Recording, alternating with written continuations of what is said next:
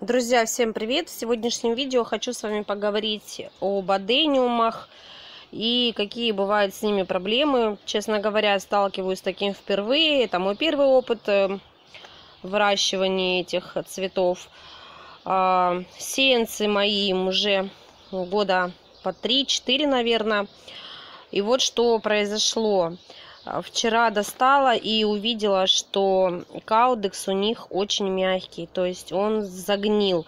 При том, что вот этот корень, он полностью твердый, целый, абсолютно. Но вот эта вот часть отгнила. Я срезала макушки у одного, вон видно, да, что он загнил. У другого в надежде, что они пустят корни, я их там, возможно, переплету Тут тоже мы видим, вот она гниль. Я хотела ее вырезать, но поражение с трех сторон, поэтому смысла я в этом не увидела. А, Опять-таки корни, вот э, основные толстые корни, они абсолютно целые, твердые, беленькие.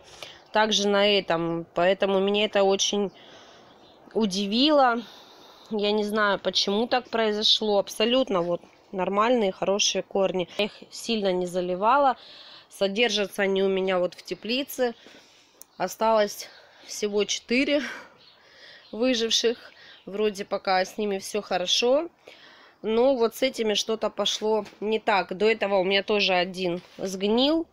Не знаю, может быть их не устраивает холодное содержание, но опять-таки стараюсь не поливать, не заливать.